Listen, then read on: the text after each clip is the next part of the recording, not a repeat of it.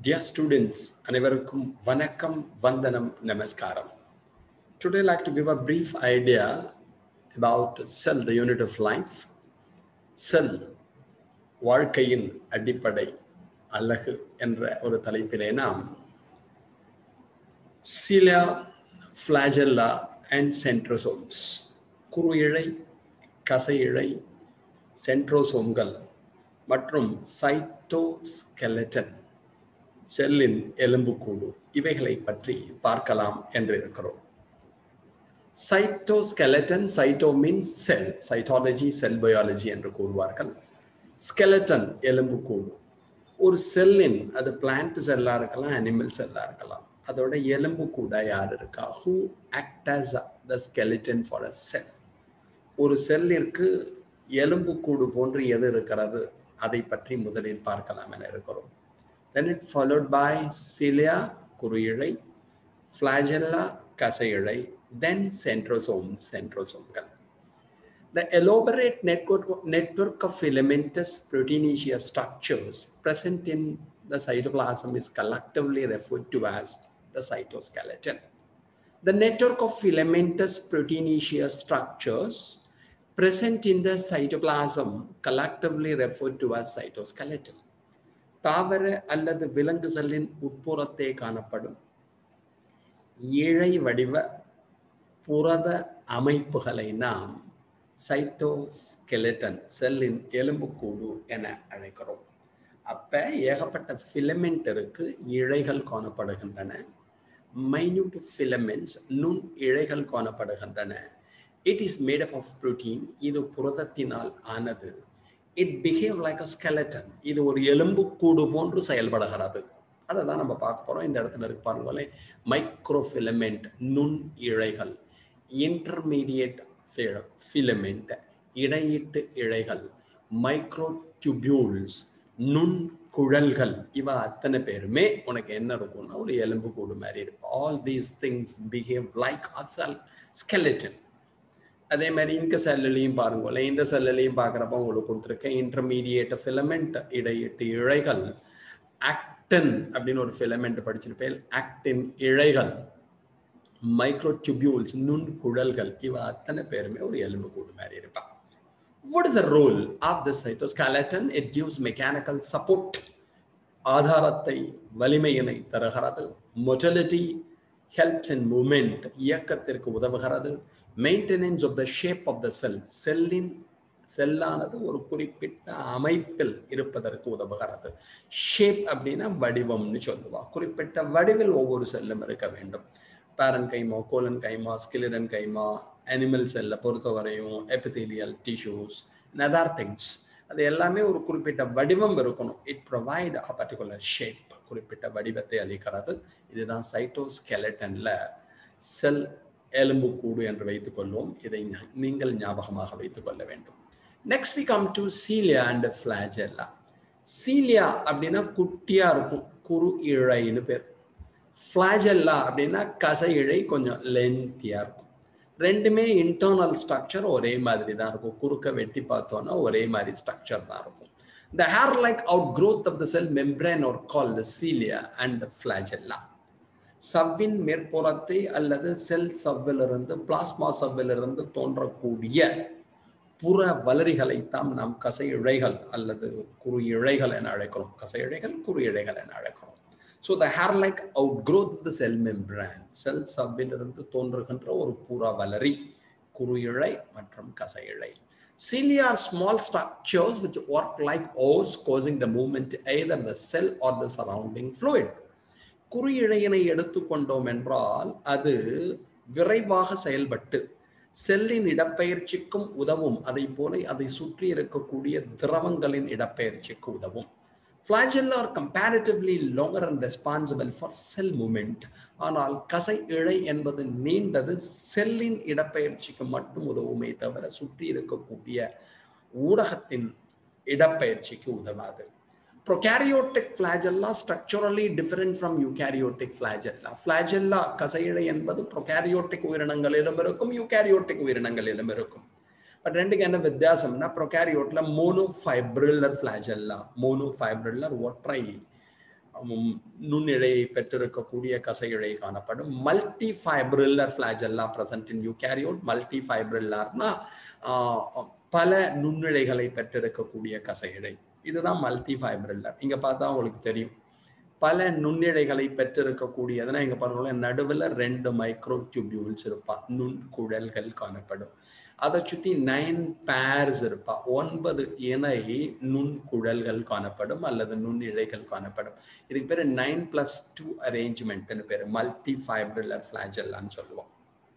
Okay இது முக்கியமாக ஞாபகம் வச்சுக்கோங்க.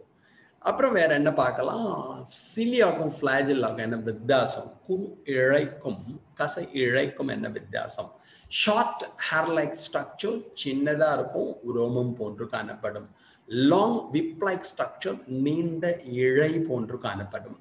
Only found in eukaryotic cells குறு இழை என்பது யூகேரியோட்டிக் உயிரினங்களில் மட்டும் இருக்கும் ப்ரொகேரியோட்ல இருக்காது. Found in both pro and eukaryotes இது ப்ரொகேரியோட்டுகளிலும் இருக்கும் யூகேரியோட்டுகளிலும் இருக்கும். Occur throughout the cell cell முழுவதும் இந்த குறு இழை காணப்படும் occur at one end of the cell or both end செல்லின் ஒரு முனையிலோ இரண்டு முனையிலோ காணப்படும். Involve in the process like locomotion feeding and circulation அதாவது இடப்பெயர்ச்சிக்கு உதவும் உணவூட்டத்திற்கு உதவும் அதை போல சுற்றோட்டத்திற்கு உதவும். இன்வால்வ் இன் லோகமோஷன் ஒன்லி கசையிழையானது இடப்பெயர்ச்சிக்கு மட்டும்தான் உதவும். ஸ்வீப்பிங் மூமெண்ட் சுத்தி சுத்தி அடிக்கிறதுன்னு சொல்லுவோம். அதை போன்ற இடப்பெயர்ச்சி இருக்கும். அது அண்டுலேட்டரி அப்படியே அசைஞ்சு அசைஞ்சு இந்த பாம்பு குட்டி போற மாதிரி போகும் அப்படிங்கிறத ஞாபகத்தில் வச்சுக்கோங்க. இதுல ரொம்ப முக்கியம் என்னன்னா cilia present only in eukaryotic cells குறு இழை என்பது யூகேரியோட்டிக் உயிரினங்களில் மட்டுமே காணப்படும் but flagella found in both pro and eukaryotes கச இழை என்பது ப்ரொகேரியோட்லையும் இருக்கும் யூகேரியோட்லையும் இருக்கும். This is the major difference ஞாபகம் வச்சுக்கோங்க. அப்புறம் இதில் எப்படி இருக்குங்கிறதுக்கு ஒரு கிராஸ் செக்ஷன் கொடுத்துருக்கா ஒரு சில்லியா ஆர் ஃபிளாஜெல்லா எதை எடுத்துட்டாலும் அதை சுற்றி பிளாஸ்மா மெம்ப்ரேன் இருக்கும். அதை சூழ்ந்து ஒரு சவ்வானது காணப்படும். The central core is called the axoneme is called அப்படின்னு இருக்கணும். இந்த மையத்தில் இருக்க பாருங்களே இந்த பகுதியை ஆக்சோனிம் என்று கூறுவார்கள். அதில் எடுத்துட்டோம்னா possess the number of microtubules இது ஃபுல்லாக வச்சுக்கலாம். இது சென்ட்ரல் கோர் ஆக்சோனிம் அப்படின்னு வச்சுக்கலாம். இந்த ஆக்சோனிம் வச்சுட்டோன்னு வச்சுக்கோங்களேன் இதில் ஏகப்பட்ட மைக்ரோ டியூபியூல்ஸ் நுண்குழல்கள் காணப்படும். நைன் பிளஸ் டூ அரேஞ்ச்மெண்ட்னு சொன்னேன். அதாவது என்ன அர்த்தம்னா பெரிஃபெரியில் nine pairs of microtubules இருப்பா சென்ட்ரலில் ஒரு பேர் இருக்கும். ஓரப்பகுதியிலே ஒன்பது ஜோடி நுண்குழல்கள் காணப்படும். மத்தியிலே இரண்டு குழல்கள் இருக்கும். இந்த சென்ட்ரல் இருக்கு பார்த்தீங்கன்னா சென்ட்ரல்ல இருக்க ரெண்டு மைக்ரோ டியூபியூல்ஸும் கனெக்ட் ஆகிருக்கும் நுண்குழல்களும் இணைக்கப்பட்டிருக்கும்.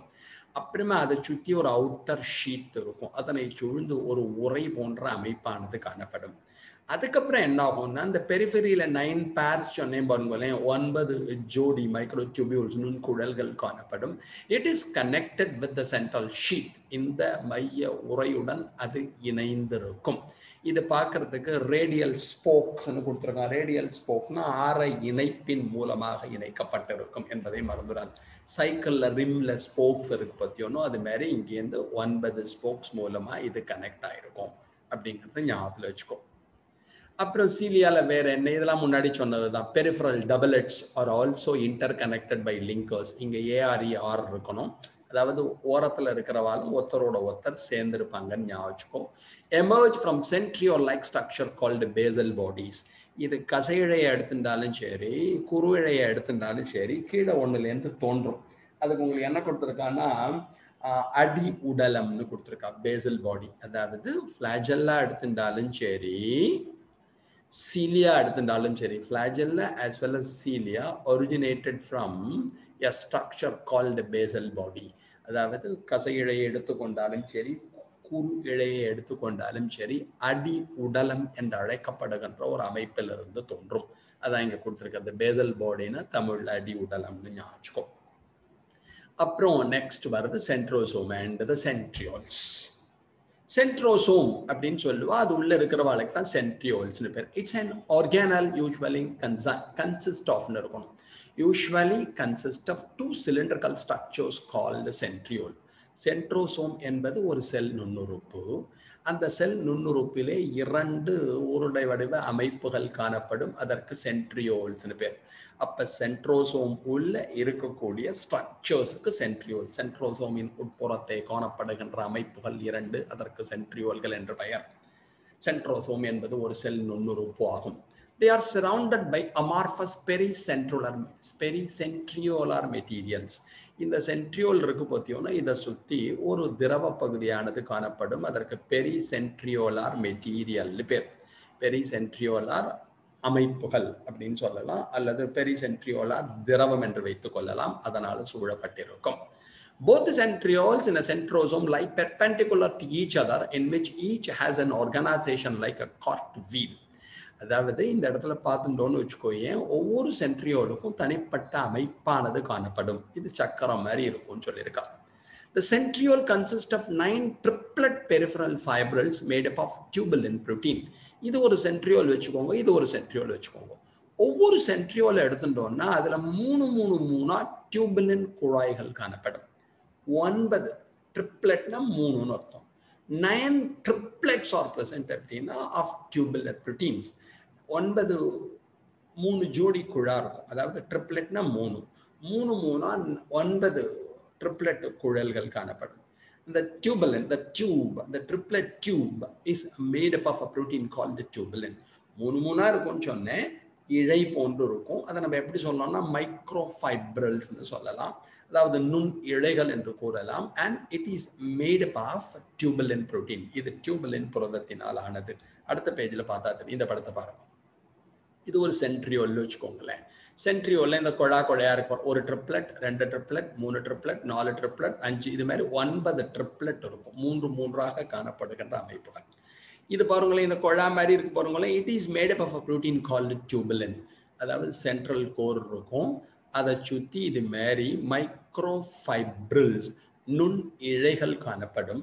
And this triplet tubulin triplet microtubules are made up of a protein called tubulin இந்த மூன்று மூன்றாக காணப்படுகின்ற நுண் இழைகள் டியூபலன் என்று அழைக்கப்படுகின்ற ஒரு புரதத்தினால் ஆனது. இது பேஸாக ஞாபகம் ஓகேயா அப்போ ஒரு சென்ட்ரோசோமில் ரெண்டு டியூபியூல் ரெண்டு சென்ட்ரியோல்ஸ் இருப்பா. ஒரு சென்ட்ரோசோமில் இரண்டு சென்ட்ரியோல்கள் காணப்படும். ஒரு சென்ட்ரியோலை எடுத்துட்டோம்னு வச்சுக்கோயே அதில் என்ன இருக்கும்னு சொன்னேன் மூணு மூணு மூணா நைன் ட்ரிப்ளெட்ஸ் இருக்கும். ஒன்பது மூன்று மூன்றாக மைக்ரோடியூபியூல்ஸ் நுண்ணிழைகள் காணப்படும். இந்த microtubules are made of of tubulin protein. இந்த மைக்ரோடியூபியூல்கள் என்பவை நுண் இழைகள் நுண் மைக்ரோஃபைப்ரல்ஸ்னு வச்சுக்கோ டியூபியூலோட மைக்ரோஃபைப்ரல்ஸ் நுண் இழைகள்.